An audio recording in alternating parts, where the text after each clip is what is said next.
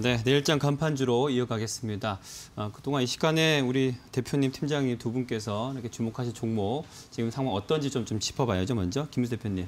네, 어, 말씀드릴 종목이 유니드고요. 네, 어, 오늘도 올랐네요. 오늘도 올라서 14만 5천 원대를 넘어가는 모습들이 나오는데 어, 특히 이 회사 뭐 실적 관련된 부분들은 다 어, 그렇게 좋게 나오는 부분들이 이제 연장이 되면서 나오는 부분들과 함께 아, 또나 탄소 포집 관련돼서 칼륨이 많이 쓰이겠다라는 쪽에 대한 흐름들이 이어지다 보니까 그에 따른 변화가 그대로 주가에 작용을 하는데 어, 하지만 이제 실적 관련된 부분은 아직까지 어, 저평가가 조금 더 남아있는 부분들이기 때문에 추가 상승 여력이 더 있다고 보여지고 있는데 어, 실적이 하반기로 가면서 약간 정체 또는 하향이 될 수가 있습니다. 그렇기 때문에 지금은 어, 추가로 상승하는 부분들은 이 또 친환경 관련된 정책의 수혜 달한 쪽이 더 포커스가 맞춰질 수 있다는 부분들 생각하시면서 대응하시되 어, 적정 부분 또 수익 실현해 가시면서 대응하는 게 좋지 않을까 싶고요.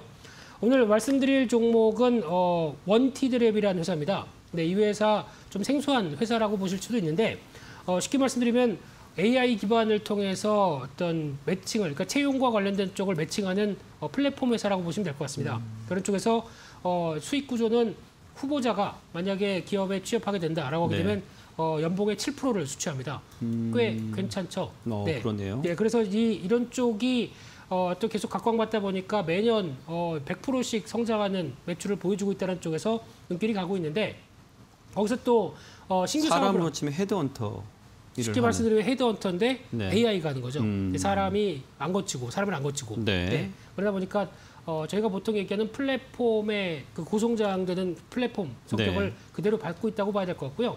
거기다가 또 이제 온 오프라인 meetup 그러니까 즉 어, 미팅을 setup하는 이런 서비스부터 뭐 경력 개발 관련된 교육 서비스 그리고 또 어, 프리랜서 매칭 플랫폼 그리고 또 솔루션 관련된 쪽에 HR 관련된 쪽을 모두 다 어, 한꺼번에 처리할 수 있게 쉽게 만들어주는 이런 서비스 중소기업 쪽에 유리하겠죠. 네. 이런 쪽을 하고 있는데 어, 또 청년 실업 사회 문제가 되고 있죠. 이런 쪽에서 계속 또 부각받을 수밖에 없는 흐름들이라 하게 되면은 어, 특히 해외 쪽에 대한 진출도 눈여겨 볼 수 있는데 지금 한 16%가 해외 기업 고객이라고 합니다. 그 정도로 어느 정도 어, 해외 쪽에서의 어떤 매칭도 상당히 기대가 된다라고 봤을 때 올해 어, 실적이 어, 올해도 한 100% 정도 매출 성장이 기대가 된다라는 관점과 함께 어, 드디어 턴어라운드 가능성이 높다라고 하게 되면 어, 그동안 좀 부진했던 어, 어떤 적자 쪽에서 바뀐다라는 관점 쪽에서 봤을 때는 한 번더 어, 레벨업을 시도할 수 있지 않을까 생각되고 있고요.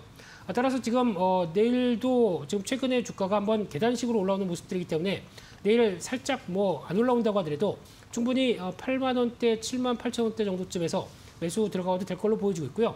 어, 목표가는 지난 고점대가 이어지고 있는 한 10만 원대까지 삼아보면서 어, 최근에 그래도 어, 플랫폼의 인기가 좋다. 네. 쪽에 편승할 가능성에 무게를 두고 있습니다. 음, 자, 보통 우리 전문가분들이 어, 가- 비슷한 섹터 내에서의 어떤 종목들을 발굴해 오시는데 좀 새롭다라는 생각이 좀 들면서 네, 기대를 더 해보겠습니다. 감사합니다. 네. 정태기 팀장 네, 리뷰도 먼저 들어볼게요. 네. 참 진중하게 하려고 하는데 그게 안 되네요. 어, 저는 파인테크닉스 네. 지난주 말씀드린 종목 좀 리뷰를 할 예정인데요. 그 말씀드린 이후에 어, 생각보다 상당히 좀 주가가 많이 그리고 빠르게 올라가고 있습니다. KH바텍과 지금 서로서로 누가 많이 올라가나 이렇게 현재 경쟁이 진행이 되고 있는데 현재 단일가 매매가 좀 적용이 되고 있는 상황입니다. 그래서 네. 아마 이 단일가 매매가 끝나고 난 뒤에 과연 또 어떻게 전개가 될지 상당히 좀 궁금 한데요.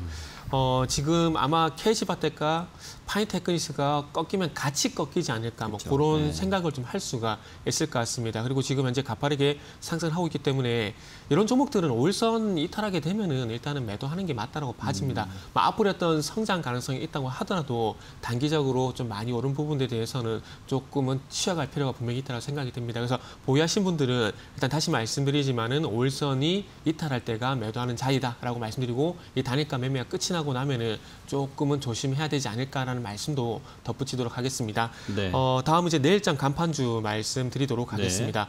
자, 어, LS 일렉트릭이라는 종목을 좀 준비를 했는데요. 어, 일단 경기 회복이 진행이 되면은 가장 또 먼저 움직이는 것들이 또 전력 관련주입니다. 그 전선 관련주고요. 그래서 뭐 대한전선이나 이런 회사도 있고 LS 같은 경우 LS 전선이라는 회사가 있는데 일단 어쨌든 이 전선 수요가 늘어난다는 것은 또 전력 수요가 늘어난다는 거거든요. 그러다 보니까 최근에 그 2분기까지 실적을 조금 분석해 보게 되면 일단 그 전력 인프라 관련된 매출이 상당히 많이 증가를 하고 있습니다. 어, 베트남에는 중국 쪽의 글로벌 전력기기 매출이 계속해서 회복을 보이고 있는 상황이고요. 그리고 유럽의 또 신재생용 직류기기 어, 관련된 매출이 또 증가를 하게 되면서 2분기 실적도 양호하게 좀 발표가 됐고요. 2분기 실적보다는 뭐 증권사 리포터 리포트 나오는 걸 좀 참고해 보면은 하반기에 좀 기대감이 더 큰 것 같습니다. 어, 이제 상반기는 맛배기였고 본격적으로 하반기 성장에 대한 얘기가 나오고 있는 상황이고요.